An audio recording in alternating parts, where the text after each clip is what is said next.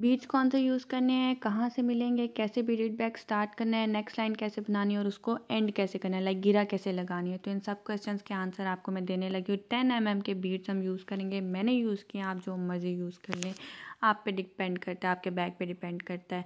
उसके बाद ये दो एसेसरीज़ मैंने यूज़ की थी डी रिंग और क्लिप्स और नाइलॉन थ्रेड मैंने यूज़ किया था थ्री एम का। इससे बड़ा वाला भी मिलता है, लेकिन मेरे से उससे सही नहीं बना था तो मैंने ये यूज़ किया। मैं आपको निकाल के भी दिखा देती हूँ, ये कैसा लगता है। और आपको कहाँ से मिलेंगे? ये आपको किसी भी लेस शॉप से मैचिंग सेंटर से, कहीं से भी मिल जाएँगे। और अगर उनके पास नहीं होंगे तो आप उनको कहें जाके कि हमें ये मंगवा दें, वो आपको मंगा देते होते हैं। ठीक है? तो स्टार्ट हमने कैसे करना है, मैं आपको डिटेल में बताने लगी हूँ इस वीडियो में तो वीडियो का एंड तक ज़रूर देखना है आपने। ठीक है? सबसे पहले जी, हमें चाहिए चार बीट्स तीन बीड्स को हम थ्रेड के अंदर डाल देंगे। थ्रेड का इतना पीस आपने लेना है जितने में आप इजीली वर्क कर सके, क्योंकि आप नेक्स्ट ऐड कर सकते हैं, करते जाते हैं। तो थ्री बीड्स आपने डाल दिए, उसके बाद जब आप फोर्थ बीड डालने लगेंगे ना, उसके अंदर से थ्रेड के दोनों कॉर्नर्स को निकालेंगे। लाइक एक साइड से एक कॉर्नर निकाल देंगे, एक उसका किनारा बीट थ्रेड का, और दूसरी साइड से आप दूसरा किनारा निकाल देंगे। उससे क्या होगा, आपके पास एक फोर लीव्स वाला फ्लावर बन जाएगा। सही है ये देखिए, मैं आपको निकाल के दिखा रही हूँ, ये निकाला और आपका ये फ्लावर बन गया फोर पेटल्स वाला। ठीक है, इसी तरह से रिपीट करते जाना है। अब नेक्स्ट में क्या हुआ कि हमारे पास ये जो लास्ट में जिसके अंदर से हमने दो निकाले हैं, वो हमारे नेक्स्ट फ्लावर का पहला बीड होगा और फिर हम दोनों साइडों पे, दोनों किनारों पे एक एक बीट डालेंगे। ठीक है, एक साइड पे एक डालेंगे, दूसरे साइड पे दूसरा डालेंगे। और जब हम इसमें तीसरा बीड यूज़ करेंगे, उसमें से हम दोनों किनारों को निकाल देंगे, ठीक है? देखिए मैंने दोनों साइडों पे एक एक बीड डाल दिया है इसके। अब ये जो चौथा वाला बीड है, यानी इसके लिए जो तीसरा यूज़ हुआ है, उसके अंदर से हम इस थ्रेड के दोनों कॉर्नर्स को निकाल देंगे। ठीक हो गया, उससे ये हमारा जो नेक्स्ट फ्लावर है, वो भी बन जाएगा। इसी तरह हम ये सारा प्रोसेस रिपीट करते जाएँगे और हमारी फ़र्स्ट लाइन कंप्लीट हो जाएगी। मैं आपको एक और भी निकाल के दिखा देती हूँ ताकि आपको आइडिया हो जाए कि कैसे करना है। देखिए, अब जो लास्ट बीट था, वो हमारा फ़र्स्ट बीट हो गया फोर पेटल फ्लावर का। अब जो दो किनारे हमारे पास हैं, एक में से एक बीट दोनों में से एक एक बीट निकाल देना आपने, ठीक है? एक में एक बीट डाला, दूसरे में दूसरा बीट डाला। और जो अब अगला बीट है, उसके अंदर से हमने इसके दोनों किनारों को निकाल दिया। ये मैं आपको निकाल के दिखाती हूँ। आपको प्रोसेस समझ आ रहा होगा। बहुत ईजी है, कोई इतना कॉम्प्लिकेटेड प्रोसेस नहीं है। इसी तरह से आप बनाते जाएँगे, आपका पूरा बैग बन जाएगा। आप इस तरह से ब्रेसलेट्स बना सकते हैं, नेकलेस बना सकते हैं। इवन अब तो ब्लाउज़ भी बनने लगे हैं, शर्ट्स भी आने लग गई हैं। अगर आप लोग कहेंगे तो उनका भी आपको ट्यूटोरियल ज़रूर दूँगी। अच्छा लास्ट में आपने क्या करना है कि जिस साइड पे आपने लाइन नेक्स्ट स्टार्ट करनी है, उस वाले को आपने एंड वाला बीट बनाना है, ठीक है? अब मैं क्या कर रही हूँ मैंने ऊपर की तरफ़, ठीक है, वीडियो में ऊपर की तरफ़ मैंने इसकी अगली लाइन स्टार्ट करनी है। तो जो मेरा राइट वाला इस टाइम थ्रेड है राइट वाला किनारा, उसके अंदर से मैं दो बीट को निकालूँगी। क्योंकि जो इसका फ़र्स्ट बीट था, वो हमारी साइड वाली लाइन का, ये मैं नेक्स्ट लाइन स्टार्ट कर ठीक है।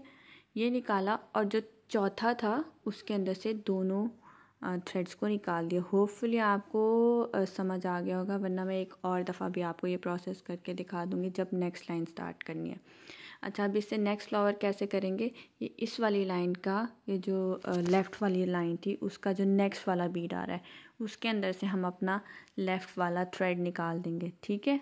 और जो राइट वाला थ्रेड है, उसके अंदर एक बीड डालेंगे और जो उससे नेक्स्ट वाला बीड है, उसके अंदर से हम दोनों थ्रेड्स को निकाल देंगे तो हमारा ये इस तरह दोबारा से कंटिन्यू हो जाएगी ये वाली लाइन होपफुली आपको समझ आ रही है। अगर नहीं भी आ रही है तो मैं इससे अगले वाला प्रोसेस आपको करके दिखाऊँगी आपको समझ आ जाएगा। ठीक है?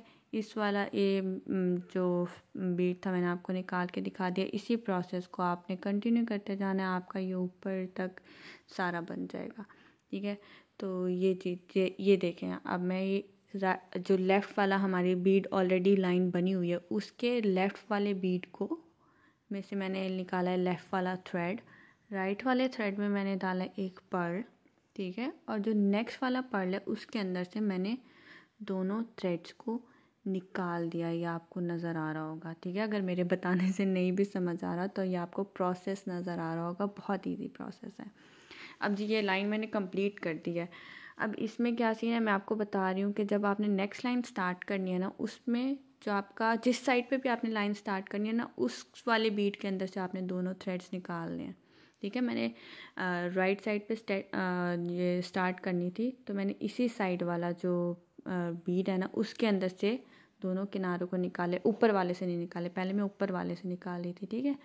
होपफुली समझ आ रही होगी। अब जो वो वाला बीट था, वो हमारा फ़र्स्ट बीट था अब इसके बाद हम जो इसकी राइट साइड है, उस वाले थ्रेड में से दो बीट्स डालेंगे और लेफ़्ट वाले में से दोनों के दोनों बीड्स निकाल देंगे। उसके अंदर, उस वाले जो हमारा लेफ़्ट वाला थ्रेड आ रहा है ना, उसके अंदर हमने एक अलग से बीड नहीं डाला। उसके अंदर हम एक बीड डाल के दूसरा थ्रेड भी उसी में से गुजार देंगे। समझ आई? होपफुली समझ आ रही होगी।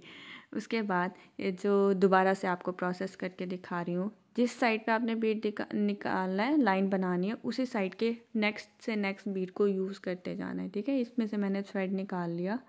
सही हो गया?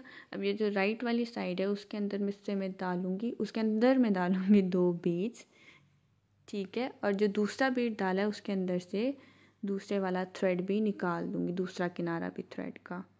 ये आपको नज़र आ रहा होगा होपफुली ठीक है ये देखिए ये बन के तैयार हो गया इसको इसी तरह नीट करते जाना है और ये बनता जाएगा। अब मैं आपको दिखा रही हूँ कि मैंने एंड में गिरा कैसे लगानी है। मैंने ऐसे लगाई थी आपको जैसा ठीक लगे। मैंने एंड कर दिया ठीक है ये पूरा का पूरा पैच रेडी हो गया। अब मैं इन सारे ये जो लास्ट वाला फ्लावर है ना इन सारे बीड्स में से थ्रेड निकालते जाऊँगी ठीक है। पहले राइट से निकाला फिर लेफ़्ट से थ्रेड निकाल के फिर ऊपर वाले से निकाल के इन आ, इन चारों में से मतलब डबल थ्रेड हो जाएगा। ताकि जो हमारा एंड है, वो स्ट्रॉन्ग हो जाए। उसके बाद मैं गिरा लगा दूँगी ज़ोर की टाइट करके। सही है?